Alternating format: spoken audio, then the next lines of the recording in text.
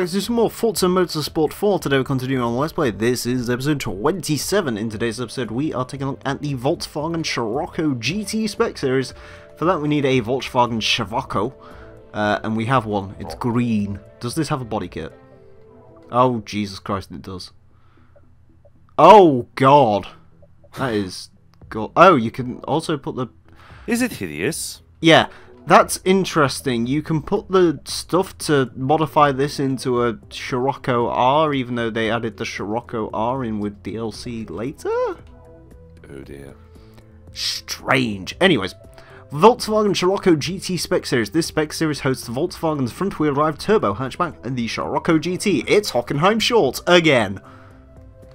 For this tiny little Volkswagen.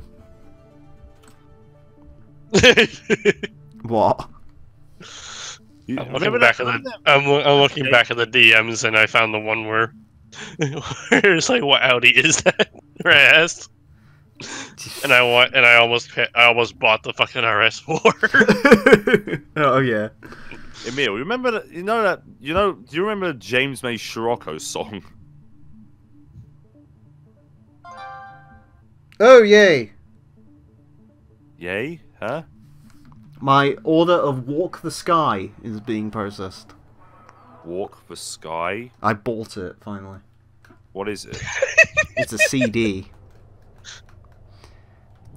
from the band. Like, I think it's probably the only band me and Scotian have in common.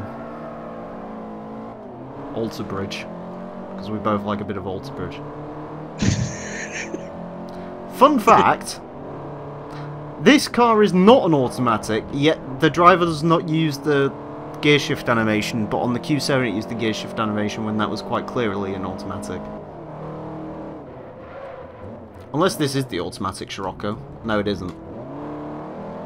That'd be a 7 speed if it was. Also, fun little fact about this Scirocco in this game. Mm. It says 2 litre TSI on the back. I was almost convinced the first LP I did of these, this that they'd accidentally put the diesel Scirocco in. but unfortunately it's the petrol one. which is a shame. Scirocco. Go take you down to Morocco. Have 55 MPGs all.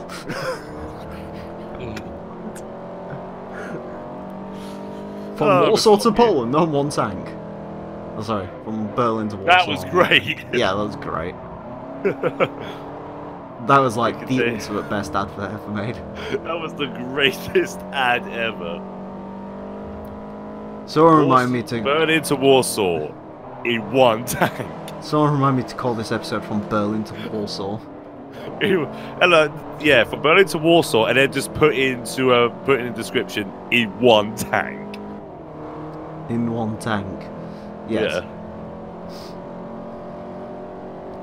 Do do do. Take the corner.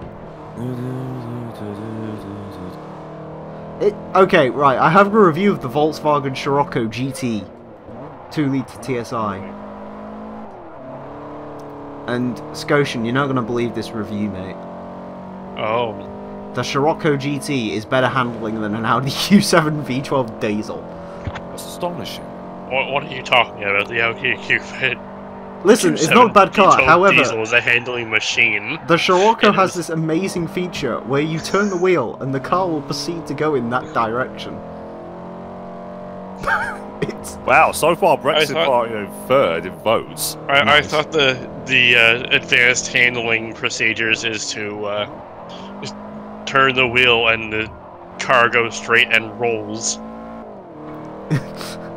I think the Q7 actually was quite firm. I don't know if because that one was upgraded by Forza, so I don't know if they did anything to the suspension to bulk it up. But Um, how are UKIP getting handle votes?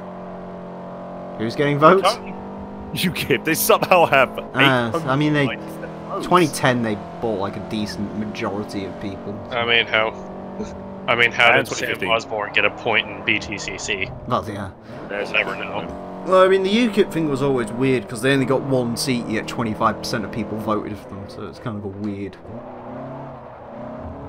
situation. They've just sort of been trying to recoup that and remain relevant ever since. Although, apart from this time, because I genuinely didn't realise they were still a thing. Al- Also, I mean, I am genuinely genuinely sad that MG is going. MG MG is shit now. Yeah, MG's not going to be in BTCC. Wait, is MG being in BTCC or not? No, No, not they're anymore. getting replace. Their uh, Excelr8's Well. replacing them with uh, Hyundai's. Oh, yeah, fuck. Watch some, like, random privateer come in and buy the MGs. and then, There was Actually, no no, We're Scotian. racing the, the fabulous ZT. Scotian, I've got a better prediction to make. What? 2023, they'll show up and be good, like the Infiniti was. well, isn't fucking Sutton going into an Infiniti now? Yeah, that's going to end badly. Because Subaru's pulling out, so... No. So, I don't know what's happened to that team. I'm assuming that guy, that guy's going to find a new sponsor, considering he's like that. He's that one guy in BTCC who like always had like a new manufacturer every year, and it was amazing. Like he actually kept Subarus around as long as he did, Yeah. Because he was the guy that bought in MG, and I think he Was that the bald guy? yeah he bought in MG, Volkswagen. Um, Fucking Michael Bordley. Th- No, Baldley's the fucking the one where every time the commentators go to him, they go, "He's a super stock car world champion." It's like, yeah, that's not a BTCC car. It's a, d- d- different. The question, the question is now: Is a wheel gonna fall off Matt Neal's car? I mean, That it doesn't doesn't happen happen very very often. so, who knows? I'm looking forward to it though.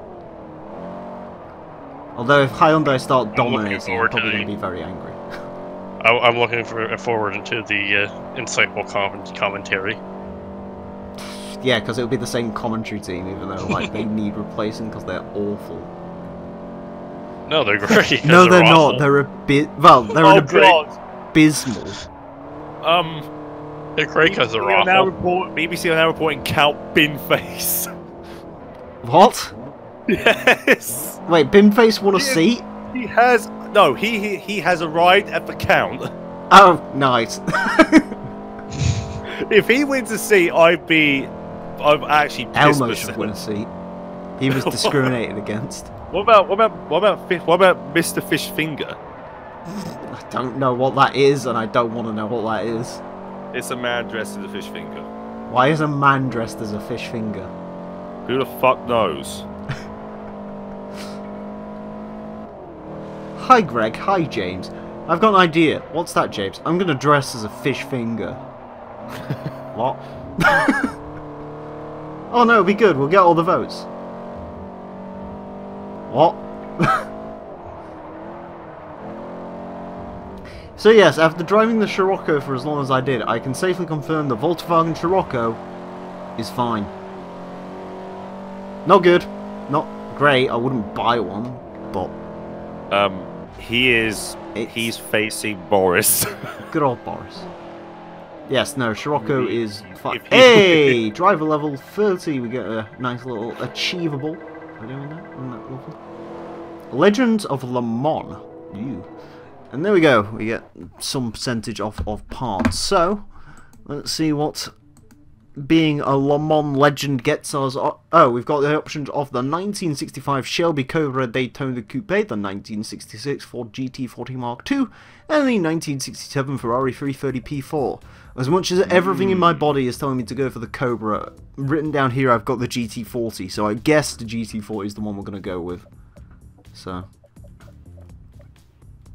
I have no idea what colour I want my GT40 in. Hmm, we'll dab it in that, I guess. Blue power. Anyways, that is it for this episode. Thank you all very much for watching. Next time we're going to be taking a look at a car which is not German. It is front wheel drive though, so join us for that. Until then, farewell. You